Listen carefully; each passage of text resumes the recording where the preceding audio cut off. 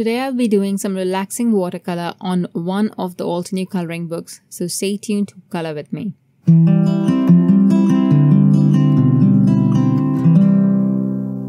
Hello and welcome to Creative Coloring with Erum. I'm sharing a watercolor page today from one of the coloring books.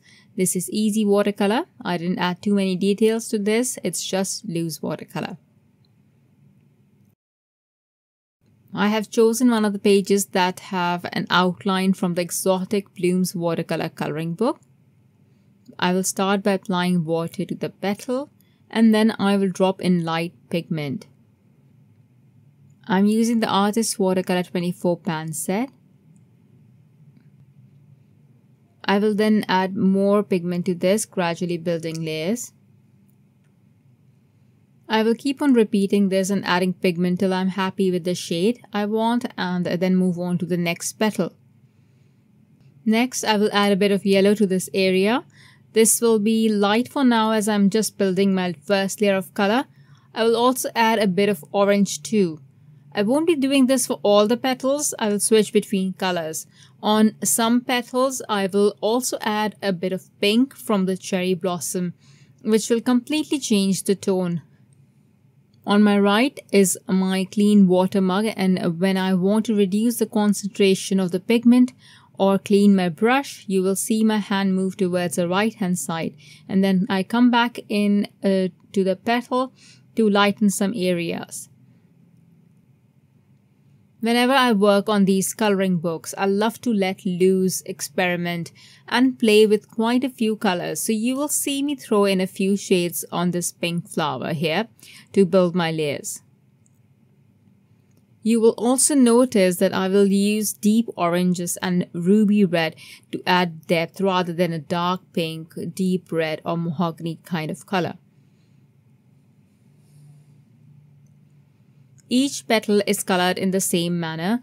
I only just changed the shades to I used uh, and this depends on you and your choice really. I just went with what I was feeling and I was just coloring from memory. These multicolored roses, uh, we used to have this in our garden and this brilliant pink orange rose, exactly the colors that I'm trying to achieve here. But I'm really not aiming for a realistic look here.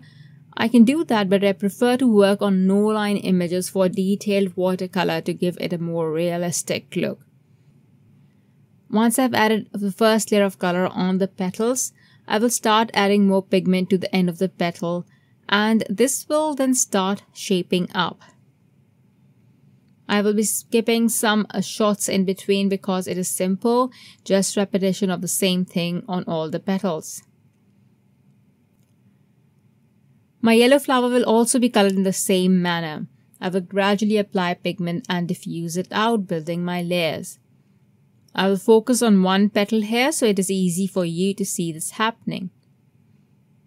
To create my dark yellows and burnt oranges, I have combined orange, yellow, brown, a bit of red, and to get the shades I need. I will leave you with some music. I hope you enjoy the coloring process.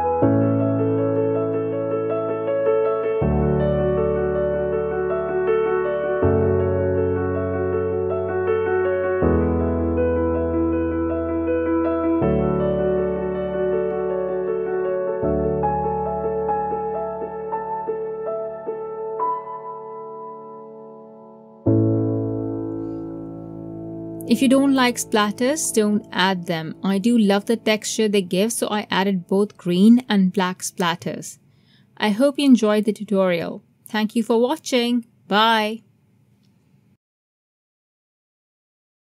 Hello there! Did that video just spark your creativity? And do you want more project ideas and inspiration videos too? Well, if you do, please make sure that you subscribe to the Altenew YouTube channel.